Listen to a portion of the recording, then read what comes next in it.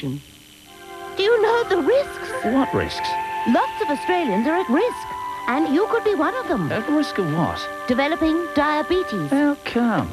Well, if you're 40 or over, if you're overweight, or if diabetes is part of your family history, there's a real risk of developing diabetes. Hmm, maybe I should get tested, but, but how? Get a self-test card and take it to your doctor. Yeah, I'll do that. Diabetes. You really should know the risks.